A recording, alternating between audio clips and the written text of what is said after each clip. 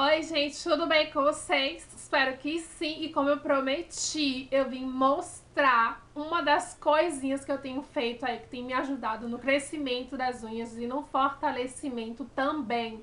Eu cortei as minhas unhas, né? Mostrei pra vocês desde o dia que eu cortei até hoje. E eu achei que ela cresceu muito rápido. Como eu falei, eu tava com... Estou, né? Tô me recuperando de um problema de saúde e as minhas unhas estavam todas quebrando. Então eu tinha que fazer algo para recuperar isso de forma imediata. E vim mais uma vez mostrar para vocês. A base fortalecedora que eu estou utilizando é essa. E é uma criação minha que eu mesma fiz. Essa aqui é que eu uso mesmo. E essa daqui eu já gravei um vídeo ensinando como é que vocês vão fazer em casa. Tá bom? E quem fizer depois, volta aqui para me contar o resultado. O primeiro vídeo que eu fiz foi no dia 23 de março, depois eu mostrei em uma semana como foi o crescimento, né, com óleo de coco, vocês lembram que eu estava utilizando, e depois passei a usar também essa receita e os outros cuidados diários que eu tenho com as unhas também, que eu já falei aqui pra vocês quais são, vale a pena vocês conferirem os outros vídeos. Gente, eu vou mostrar pra vocês quais são os ingredientes, é super fácil e barato. E em seguida a gente vai para o modo de preparo. Tá? Primeiro eu vou mostrar para vocês que eu me inspirei nessa minha base é, fortalecedora aqui, que é uma das minhas favoritas. E eu uso ela com tanta pena porque eu amo muito ela. E foi inspirada nela que eu fiz, tá? Os ingredientes são todos bons. Vamos lá. Como a nossa base, a gente vai precisar da glicerina, que já tem um vídeo aqui que eu falei pra vocês como usar glicerina nas unhas e mostrei também o resultado e por que que ela é boa pras unhas. Vou deixar os links dos vídeos de unhas que eu tenho aqui pra vocês assistirem todos, tá bom? Porque não é só fazer a receita caseira, tem que ter todo um cuidado e saber o porquê o que você está usando é bom. Então vamos precisar da glicerina do óleo de coco, né, que eu nem preciso falar, sem comentários, né, maravilhoso, já mostrei resultado aprovado, testado e comprovado aí para vocês verem. E também vamos precisar do extrato glicólico de aloe vera ou babosa. Isso eu já tenho aqui em casa. Ele rende muito, muito, muito, muito, muito, porque você deve usar pouca quantidade e ele é muito barato. Em seguida, lá no vídeo, vou falar para vocês onde é que vocês encontram. E vamos precisar também do óleo de melaleuca. Óleo de melaleuca ou óleo de mirra, se você encontrar. Isso aqui eu comprei na TikTok, em Itapuã, em Salvador, tá, gente? 10ml eu paguei 10 reais, eu achei até barato. O óleo de melaleuca tem propriedades antifúngicas, antimicrobianas, antibacterianas e é muito bom para tratamento de unhas e para quem tem micose também. Ótimo para a saúde das unhas. E para dar um cheirinho agradável nessa mistura, eu vou colocar o óleo de lavanda. Ok? Porque ele é muito cheiroso e eu gosto do, do cheirinho dele junto com o óleo de coco. Então, é essa, gente, a nossa mistura. E para finalizar, isso aqui que vocês estão vendo é a mirra que é o que vai dar o endurecimento e fortalecimento efetivo, ativo nas suas unhas, porque a mirra, se você pesquisar, é uma das melhores coisas que tem para tratamento de unhas. Inclusive, em muitos uh, fortalecedores bons, é, recomendados até por dermatologistas, a maioria deles são feitos à base de mirra. Eu paguei 4 reais em um potinho de mirra, vocês encontram em lojas de produtos naturais ou casas de ervas, tá? Eu comprei uma pequena quantidade mesmo porque rende muito, tá? Comprei cerca de 20 gramas, então bem pouquinho mesmo, mas rende muito porque a quantidade que a gente coloca é muito.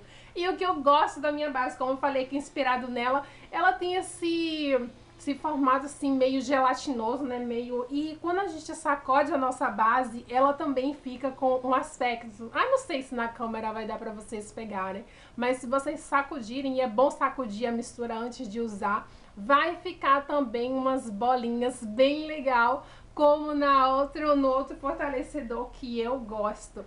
Tá? E modo de uso, gente. Vocês que estão com a unha bem fraquinha, estão querendo começar o tratamento, dê prioridade a usar com as unhas sem esmalte, para ter um tratamento bem efetivo.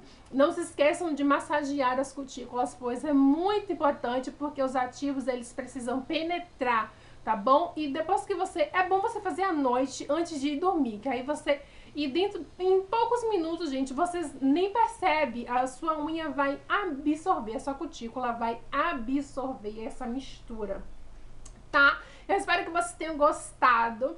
Se ficou dúvida, deixa aqui embaixo que eu vou responder, tá bom? Então é isso, gente. Um beijo para todos vocês. Fiquem agora com o modo de preparo, porque é super fácil. E até a próxima! Bom, gente, então vamos começar. Para a gente não perder tempo, eu já vou colocando os ingredientes e vou falando para vocês o que é que a gente vai precisar. Primeiramente, um frasco, tá? Qualquer frasquinho ou de preferência para ficar mais organizadinho.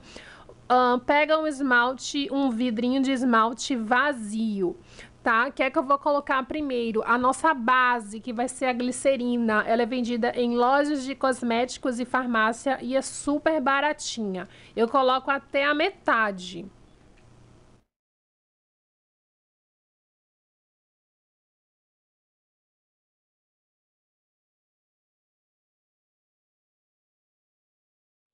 Pronto, eu coloco até a metade porque vai dar volume, tá? E a nossa base, ela vai ficar mais cheinha. Em seguida, eu coloco o óleo de coco. Vocês podem me perguntar qual a quantidade. Olha, eu não, não coloco uma quantidade exata. Tipo, eu coloco pouca quantidade.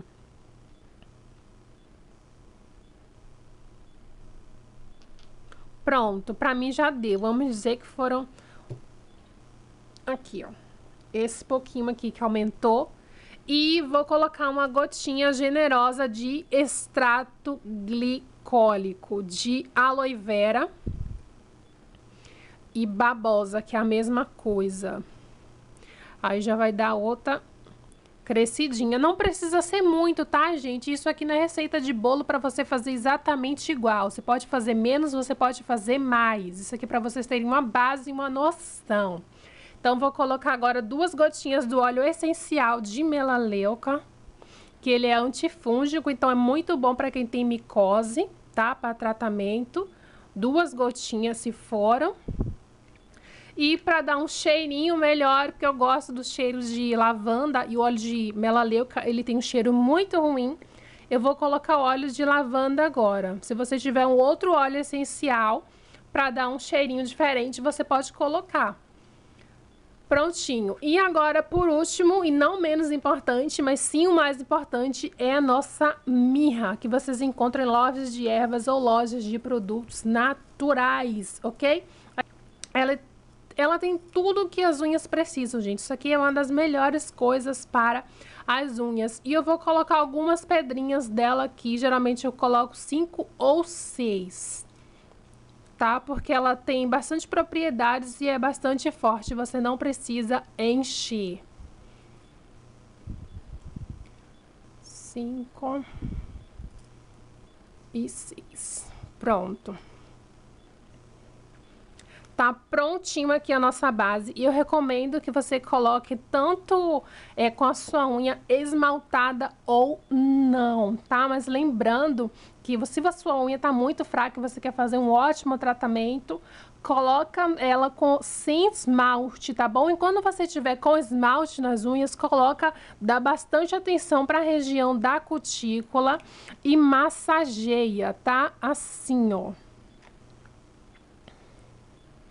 Fica uma misturinha muito boa, não vai atrapalhar em nada o seu esmalte. E quando você, você vê que quando você tiver sem esmalte nas unhas, é, absorve, tá? Chega um, dentro de alguns minutos absorve, ele seca. Mesmo contendo óleo, vocês vão observar que vai absorver. Então, era essa, gente, a dica que eu tinha para passar para vocês. Espero que vocês façam, que vocês tenham um bom resultado, como eu tive, vocês viram né, mês de abril, como finalzinho do mês de abril também que elas estavam e como elas estão agora, cresceu muito. Então aqui só tem coisa boas para as unhas.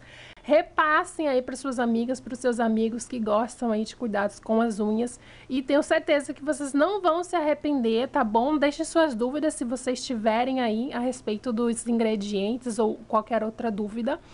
E uh, não se esqueça de compartilhar, clicar em gostei, tá bom? Era isso, gente. Um beijo, até a próxima e tchau!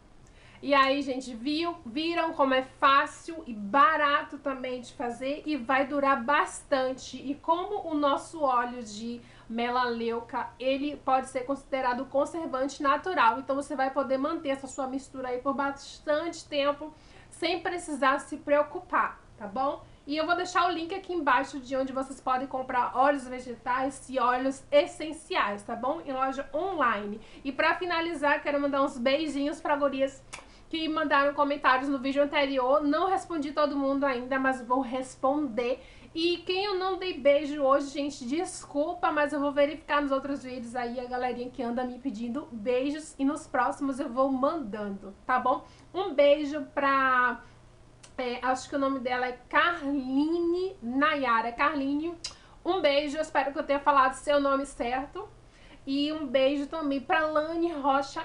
Lani, um beijo para você. E falar também, olha aí, Vanildo, já tô falando dos meus segredinhos, que você falou que a sua unha cresce e quebra, a minha unha também era assim. Isso é normal, né, gente? Acontece, mas a gente pode ainda sempre mais e mais fortalecendo, deixando elas mais saudáveis e principalmente ter cuidados no dia a dia, que eu já falei vários e vários, que é pra gente evitar essa temida quebra aí, que quando a gente menos espera, ela acontece. Mas tem gente que isso é muito recorrente. Então, acho bom conferirem as outras dicas para começar a ter unhas maiores e mais fortes. É isso. Eu espero que vocês tenham gostado. Um beijo e até a próxima. Tchau, gente!